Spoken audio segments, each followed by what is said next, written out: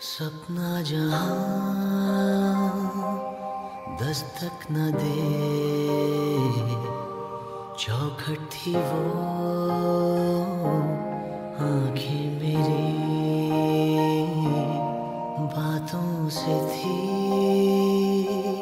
तादाद में।